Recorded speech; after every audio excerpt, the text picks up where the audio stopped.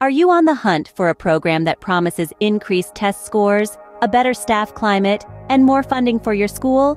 Look no further. The solution is here.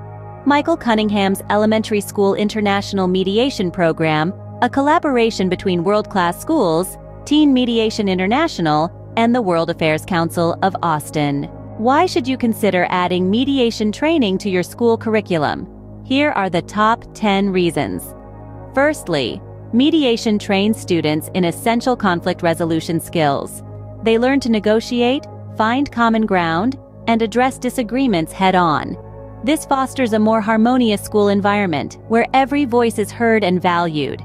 Secondly, mediation empowers students. It teaches them to resolve conflicts independently, making them active participants in their own problem solving. They no longer solely rely on authority figures, and this boosts their self-confidence. Thirdly, the number of conflicts referred to teachers or principals decreases with trained peer mediators. Mediation becomes the first line of defense, reducing the burden on administrative staff. Fourth, mediation training enhances social-emotional learning.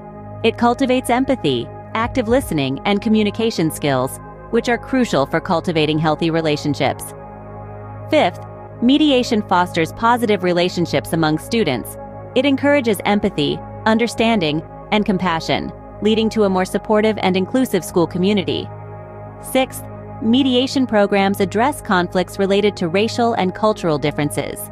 They promote understanding and respect, contributing to a culturally sensitive environment. Seventh, mediation helps address factors that contribute to truancy. When students feel heard and understood, they are more likely to attend school regularly.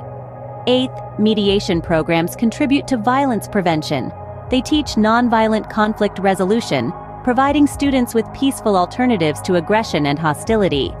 Ninth, mediation emphasizes self-regulation. Students learn how to manage their behavior and emotions constructively, without the need for external monitoring. Lastly, mediation skills extend beyond the classroom.